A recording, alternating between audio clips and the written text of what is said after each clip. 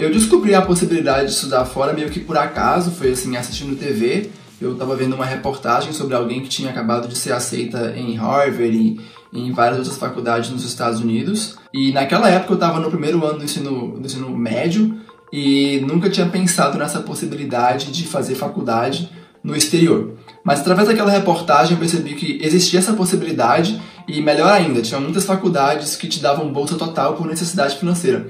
Então, a partir daí eu comecei a pesquisar sobre como funciona o processo americano de, de application, né, que é o vestibular americano, e percebi que, assim, apesar de não ter vários dos requisitos que eles pediam, por exemplo, eu não falava inglês naquela época ainda, uh, eu ainda tinha três anos no ensino médio pela frente em que poderia trabalhar em cima dessas coisas, e foi a partir daí que eu fiz a decisão de que eu gostaria de sim tentar fazer faculdade no exterior.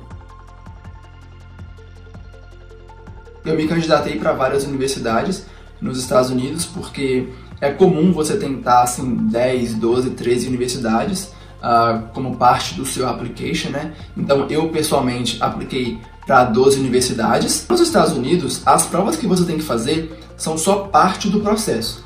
Além de provas, você também tem que enviar notas as suas notas do ensino médio, cartas de recomendação, redações, listas de atividades extracurriculares que você já fez e algumas outras coisas, né?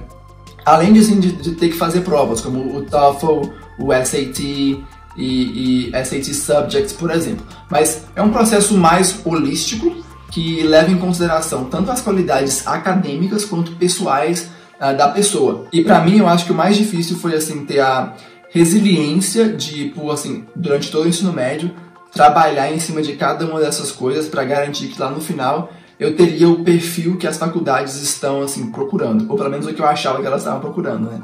Então, nesse sentido, por exemplo, ter aprendido inglês sozinho foi uma coisa bem desafiante, porque é, a minha meta era conseguir ficar fluente em inglês em, entre dois a três anos, e para isso eu precisava praticar todo dia, e como eu estava aprendendo sozinho, significou que eu tive que, enfim, pesquisar vários métodos de aprendizagem de línguas para acelerar o processo e ter uh, consistência de todo dia estudar um pouco. Então acho que isso foi nas partes mais desafiantes do processo inteiro.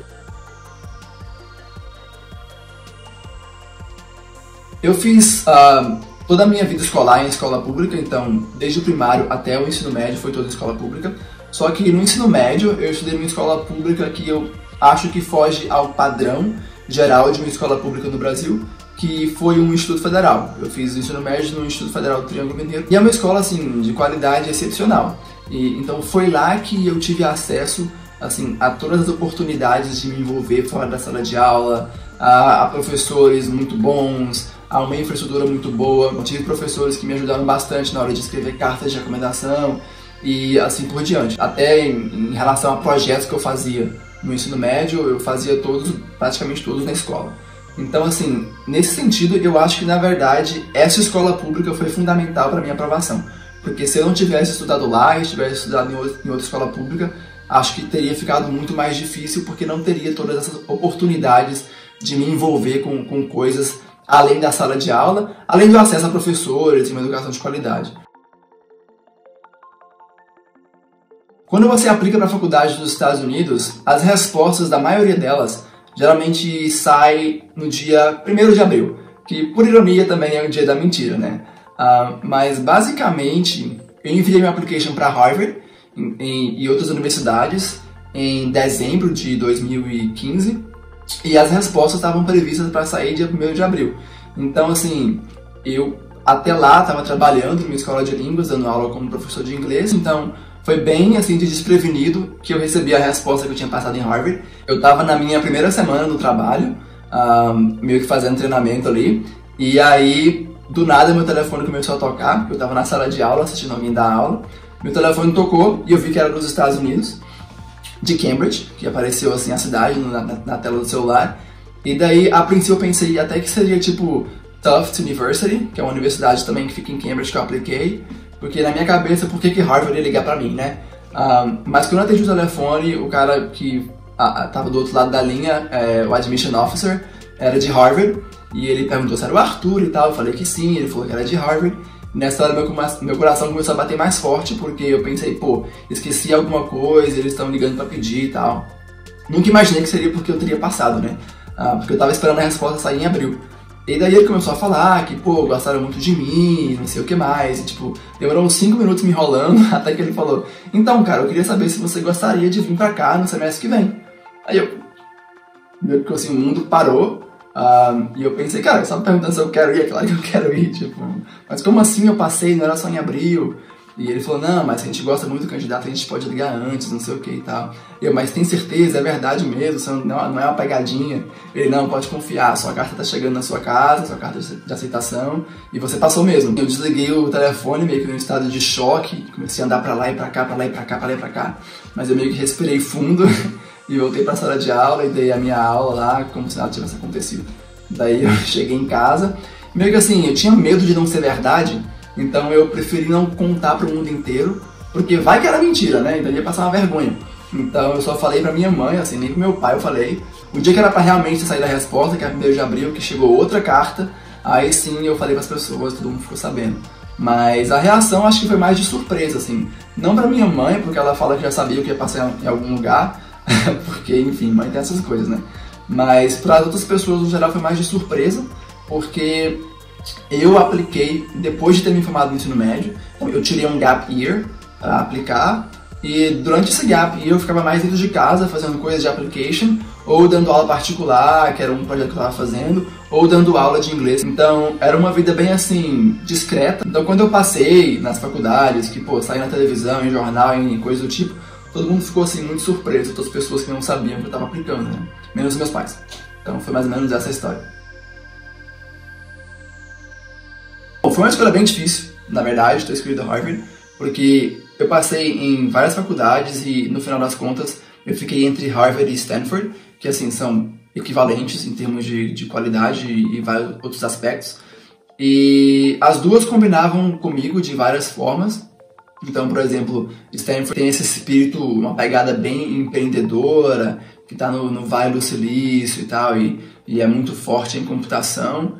Uh, então, assim, foi bem tentador realmente ir para lá. Já Harvard tem um, um, legado, né? Tem essa coisa do legado de, de vários nomes muito importantes que passaram por lá. Então tem bem essa pegada também de impacto no mundo como um todo.